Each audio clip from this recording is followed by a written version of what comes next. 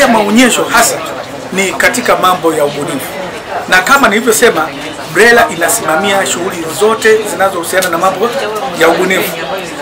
Kwa hali hiyo BRELA kama, eh, kama, kama wakala pekee inayojihusisha na, na, na, na sheria za ubunifu tumekuja hapa kwanza kutoa eh, kutoa elimu kwa umma, watu waweze kuelewa eh, kuwaelekeza wabunifu mbalimbali namna ya kulinda bunifu zao. Eh, kulinda bunifu zao ni pamoja na kuzitofautisha e, kati yao wenyewe.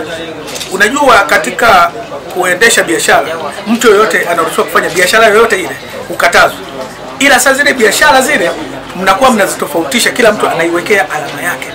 Sawa. Vivyo hivyo katika katika eh, majina ya biashara, majina ya makampuni hayapaswi kufanana, kwa sababu yakifanana yatakuwa yanaleta changamoto, watu hawaelewi ipi ni ipi. Kabla ya kusema kwamba iko wapi, kuanzia mwaka 2018 Blela ilianza kutoa huduma zake kwa njia ya mtandao. Ninaposema njia ya mtandao, popote ulipo BRELA ipo, hata kama ni machakani. Naposema machakani, sina maana hivyo, popote pale ulipo, yaani hata polini, amradi uwe na zana zako za kuwezesha kuwe na mtandao, unapata usajili. Lakini kwa sasa makao makuu ya BRELA yako Dar es Salaam. Na hapa Dodoma tuna tawi tu kubwa na shughuli zinafanyika. Ukienda hapo jengo la, la, la PSSF nafikiri na, nafikiri mnafahamu pale ghorofa ya kumi, sawa, pale kuna ofisi zetu. Zile ofisi ziko pale na kuna watu pale, mtapata huduma yote unaweza um, um, nimesema jengo la PSSF liko hapa karibu na uh, usalama pale zimamoto. Hapa hapa kati mjini hapa. Na, nafikiri mna, mnaweza kama mnalifahamu hilo jengo.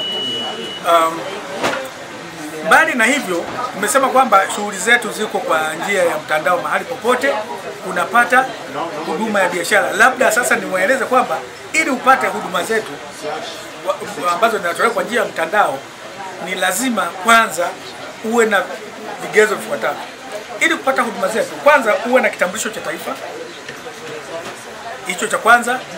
Pili, uh, kwa wale wanaotaka kusajili makampuni, mbali na kuwa na kitambulisho cha taifa, lazima uwe na TIN namba yako mwenyewe. Ukishakuwa nazo ukishakuwa na hivyo vitu, lazima uwe na email yako au, au barua pepe yako. E, kwa kutumia barua pepe yako utaingia kwenye mfumo wetu, utajirejista sawa, utaji, utajiorodhesha pale kwa kutumia email yako kuweka taarifa zako ili uweze kupata account ndani ya kwenye mfumo wetu wa, wa, wa BRELA. Ukiingia tu pale ukitafuta uh, brela.tz.go una, una, una, utatupata pale, utajirejista. Ukishajirejista ile akaunti yako sasa ndio utaitumia na ile itakuwa ndio faili lako. In fact unapokuwa na account ile faili lako wewe unatembea nalo, ni wewe mwenyewe tu kiasi cha kukumbuka kumbukumbu namba una, unaingia unajaza kitu chochote, weka taarifa zako zitakazohitajika. Mwisho utaambiwa cha kusajili hivyo, sababu ile iko inaongoza kabisa kwamba utakao ufanye hivi, utakao ufanye hivi, utakao ufanye hivi, kila kitu kinaelezeka, kiko wazi. Labda swala la mwisho, uh, mtu akijisajili hivyo mpaka usajili kukamilika unaweza kuchukua siku ngapi labda? Kwanza usajili wa vitu kama majina ya biashara ukiwa ukiwa vizuri ni, ni ndani ya ma- hata, hata nusu saa inaweza sifike. Kwa mfano hata hapa tulipo watu wanakuja wanapata huduma hapo, mtu anaweza kutoa huduma pale pale. Sasa kinachokwaza tu ni kwamba uh, kuna changamoto za matumizi ya mfumo haya, ingine kutokuelewa na vitu vingine, ile mtandao wenyewe saa ingine unaweza kuwa nasumbua. Hicho ndio inaweza ku- ku- ku- kuchelewesha, na kinachoweza kuchelewesha kingine, inawezekana data unazoingiza sio zenyewe, au kataka kurekebisha vitu fulani, kama nilivyokuwa nasema kuna taarifa unaweza kaweka visivyo au unaambiwa hivi alafu unajaza taarifa zisivyo, utarudishwa kwenye msaisho Lakini kama una, unazingatia kwenye majina ya biashara, hata siku moja tu ina, inatosha. Hata makampuni kama una, una, una, una, unajua japo credentials za makampuni ni nyingi, mtu anakuwa na ana, ana, anaweza ka- akasahihishwa mara nyingi nyingi tu um, na vile vile BRELA tu ambacho ningependa kuwakumbusha wananchi eh, shughuli zetu za BRELA pamoja kwamba zinahitaji malipo kidogo, lakini vile vile zinatakiwa kuzingatiwa kulingana na sheria.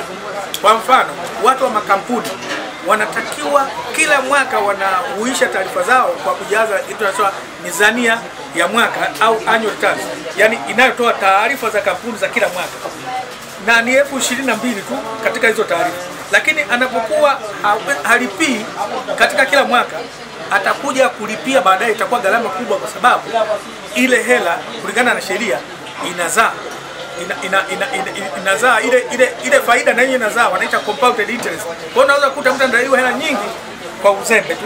Kwa hiyo tunawashauri watu wote, na sasa hivi ilivyo sasa hivi, mtu huwezi kupata huduma yoyote kibenki zile nani tuseme taasisi zote za kifedha huwezi kupata huduma bila kuwa na taarifa sahihi kutoka BRELA ambazo zinakuonyesha kwamba wewe kampuni yako au jina la biashara limekaa sawa.